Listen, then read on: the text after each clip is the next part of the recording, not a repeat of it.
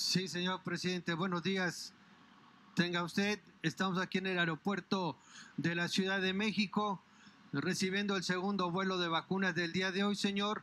Es el vuelo 88, el embarque 74, es de Pfizer y viene 290.160 vacunas.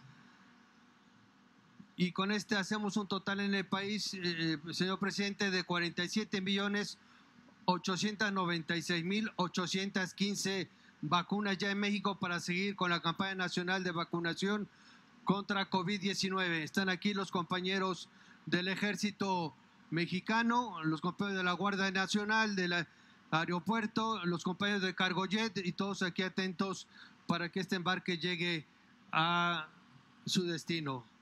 Entonces es probable que para finales del mes eh, pasemos de 50 millones. Así es, señor, se romperá la barrera de los 50 millones de vacunas en México.